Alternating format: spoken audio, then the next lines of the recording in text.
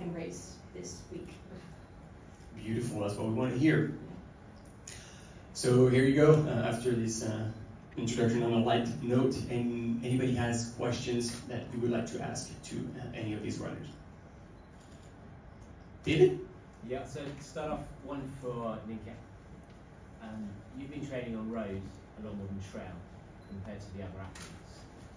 And um, typically, trail runners have stronger recovery muscles because they go through more impact from downhill running. So do you think you're actually going to have less of an advantage on multi-day races because you won't be able to recover as well from the downhills as the other runners?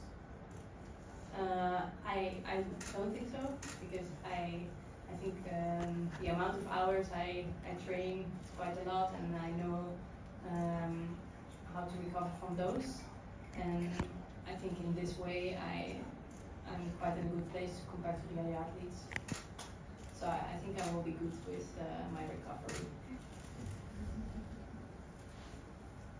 I've got one for uh, Sophia. Um, so Sophia, you you got a taste of what it's like to catch Lydia, to overtake her. You got to run behind her and in front of her on a lot of varied downhills.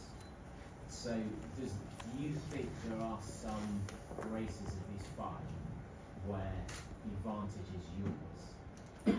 Yeah, I mean, it's hard. Um, I haven't done any of the courses, so I don't really know, but I have heard that there's a lot of, or some of the courses have some really steep sections. And after Flagstaff, I noticed that that was kind of one of my stronger things, and I was battling that with Yankee. So maybe if, yeah, there was a really, really long steep section, I could, we could battle it out in that.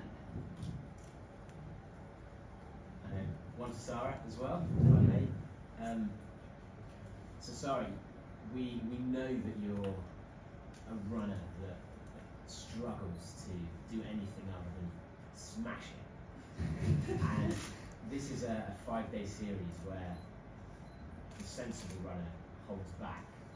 Like, have you have you found a pace that you think you can maintain for five days, or are you going to attack in your usual um, style and just see what happens? Um, not my plan is try to finish every day and maintain in a normal and not take an attack. So I don't think so that if they move in the uphill like who is going to attack, I, I don't think that I will follow them. I just want to be enough strong every day to take my pace and finish strong and not dying.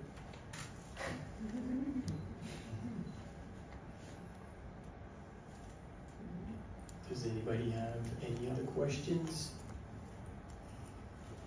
Yeah. Um, are you going to start all the five races, or do you plan to skip any one, or if you're also playing with the with the other runners for your strategy?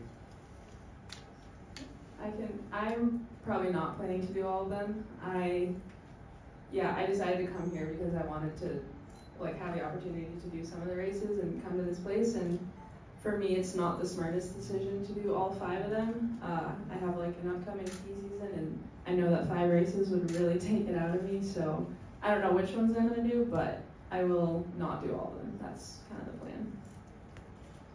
Um, at the moment, my plan is to do all five. Um, yeah. Also, this was my plan from the beginning, and um, I, when I heard that it's also possible to do less, I, um, I think I still want to stick to my my plan. It, I, I wanted to, to, I want to see also how how it is for me to race five days, and I think I can learn also quite a lot from this. And so for me, I think I will try to do all of them. And maybe depends in the last day how I am in the qualification. Maybe change to do any segment or like this, but for the moment I will try to go for the general.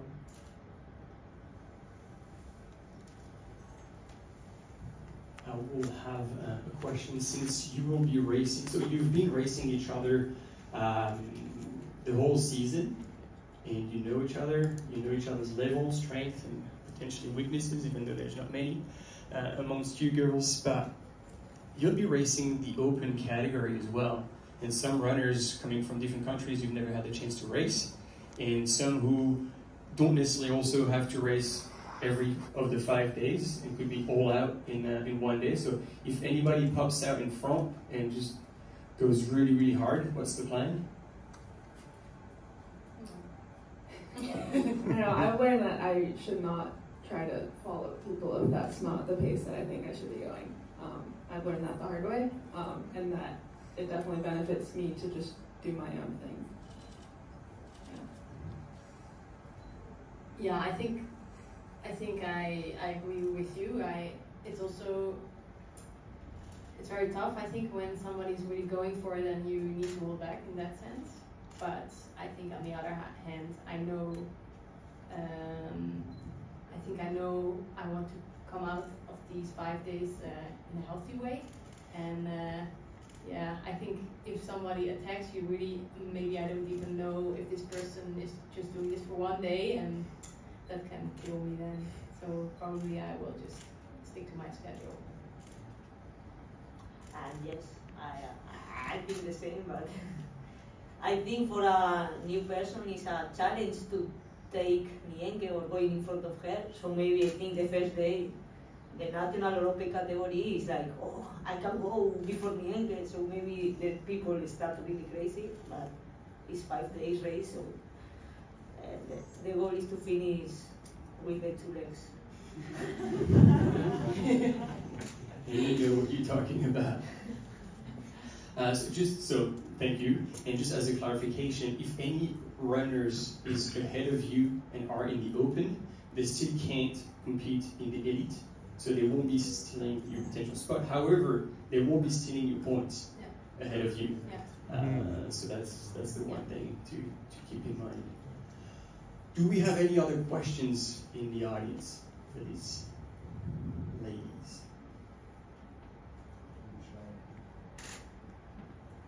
Nope.